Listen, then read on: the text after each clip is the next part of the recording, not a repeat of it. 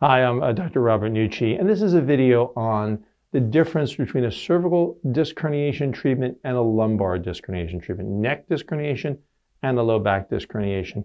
In the neck, often uh, the disc herniations are treated with a fusion right, or a disc replacement. You remove the entire disc and you put something in, in the space where the disc was, generally. In the low back, you don't do that. Uh, you usually just take out the little piece of disc that's, that's popping out and you leave the remaining disc. So the question is, why do you do it differently? Well, as I try to explain to patients, the neck and back are different animals. So you don't think of them the same. The disc in the neck is quite small. The disc in the back is quite large. When you have a disc herniation um, in the cervical spine, it often involves a large portion of the disc. And by the time you get that disc herniation out, a lot of the disc has already been removed, particularly if you go from the front. So once you get in there, take the herniation out, small disc, take out the herniation, there's not much left.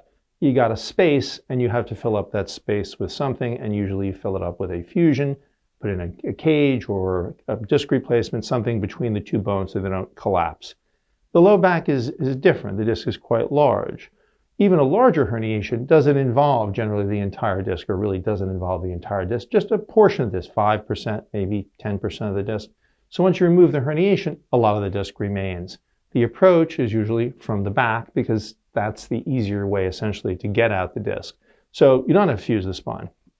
You've got a lot of disc remaining. That's the technical difference between a cervical disc herniation surgical treatment and a low back lumbar disc herniation sur uh, surgical treatment. Again, I'm Dr. Robert Nucci of Nucci Medical. Uh, if you'd like any more information, please visit our website at nuccimedical.com.